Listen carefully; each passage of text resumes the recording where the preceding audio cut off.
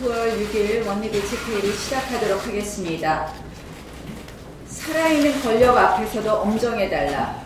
반칙과 특권을 용납하지 않는 정의가 바로 서는 그런 세상을 만들어달라. 지난 7월 25일 윤석열 검찰총장 임명식에서 대통령께서 하신 말씀입니다. 그런데 어, 최근 국무총리를 비롯한 여당 인사들의 검찰을 향한 언행을 보면 대통령의 이 말씀에 전혀 반하는 이야기를 하고 있습니다. 대통령에게 직접적 반기를 들거나 아니면 대통령이 거짓말했다는 어, 말씀이 아닌가 이런 생각을 합니다. 자기들이 정치를 하겠다고 덤비는 것이다. 최근 검찰 수사에 대해 이낙연 총리가 한 발언입니다. 이것은 명백한 사법 질서의 근간을 흔드는 이야기입니다. 중대한 수사 탄압입니다. 심대한 수사 방해입니다. 비리를 덮어주겠다는 범죄 공모나 다름없습니다. 이것은 바로 국민의 민심과 우리의 헌법 질서에 덤비고 있는 것입니다. 청와대는 아예 노골적으로 어제부터 수사 개입에 나섰습니다. 어, 정말 눈 뜨고 못 보겠습니다. 그런데 오늘은 보니까 이런 이야기도 했더군요. 검찰 수사 내라는 뭐 수준이다 이렇게 얘기했습니다. 저는 청와대가 이런 인식을 갖고 있다면 밀란을 면치 못할 것이라는 말씀을 드립니다. 박상기 법무부 장관도 어, 마찬가지입니다. 일일이 다 말씀드리지 않겠습니다. 어제 여당 인사의 조국 부하기는 크게 달았습니다. 이 김두관 의원 어, 한 차례도 아니라 두 차례 전화했고 청와대 수석 이야기했다고 합니다. 자세한 내용 본인이 직접 이야기해야 될 것입니다. 유시민 전 장관 시나리오를 짜듯이 이야기했다는 말 어, 보도도 있습니다. 저희는 오늘 두 명에 대해서 어, 오늘 증거인멸 어, 등의 혐의로 강요 어, 등의 혐의로 오전 9시에 검찰에 고발했습니다. 어, 진실을 덮으려는 문재인 집권 여당의 거짓 세력과 지금 모든 것이 밝혀지기를 바라는 진실 세력의 승부가 되었습니다.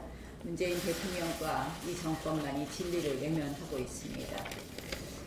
저는 오늘 음, 사실 어, 인사청문회가 10시에 시작되는데 조국 후보자는 인사청문회 지금 시간 얼마 안 남았지만 이제라도 스스로 사퇴하고 어, 물러서는 것이 맞다.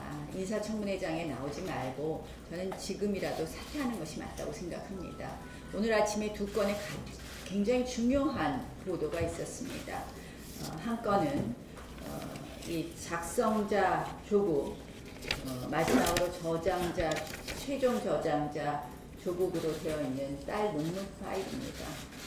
어, 조국 후보자 엊그저께 기자간담회 나와서 뭐라고 이야기했습니까? 그 논문에 대해서 전혀 몰랐다고 했습니다.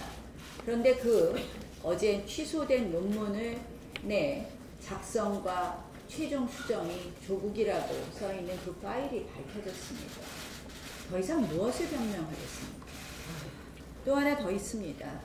제가 보니까 그 동양대 최 총장께서 그래도 어, 조국 후보자가 직접 증거인멸을 이야기했다는 것은 어, 말씀 안 하려고 하셨던 것 같습니다. 최소한의 그래도 조국 후보에 대한 좀 어떻게 보면은 그래도 스스로 알아서 내려오라고 정경심 어, 조국 후보의 배우자에 대해서만 언급하고 거기까지는 언급하지 않았었으나 어제 청와대가 이제 말도 안 되는 증거를 들이대면 말도 안 되는 어, 또 다른 음모를 꾸미자 어, 그최 총장이 진실을 어, 더그 뭐 구체적으로 이야기했습니다. 정경심과 전화하던 중 어, 조국 후보를 바꿨고 조국 후보가 직접 법률적 자문을 구해 보니까 이렇게 이렇게 위임했다고 얘기해달라고 했다는 것을 밝혀졌습니다.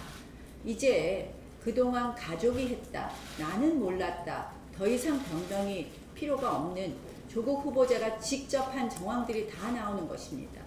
게다가 이러한 것이 범죄 행위에 해당하는 것입니다.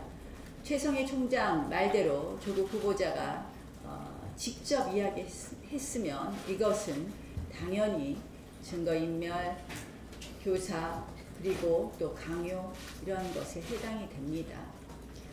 구태여 범죄 사실, 죄명을 이야기하려고 하는 것이 아닙니다.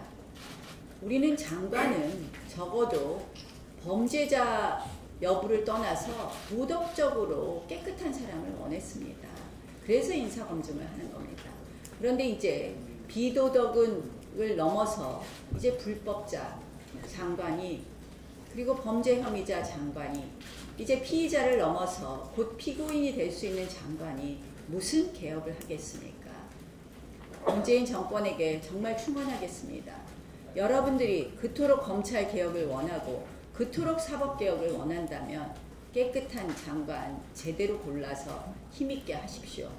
조국 후보 즉각 지명 철회하시고 문재인 대통령은 조국 후보는 지금 얼마 안 남았지만 빨리 지금이라도 사퇴하고 인사청문회장에 나와서 계속 거짓말을 들어, 늘어놓는 그런 모습을 보여서 마지막까지도 어, 정말 추한 모습으로 남게 되지 않기를 다시 한번 어, 촉구합니다.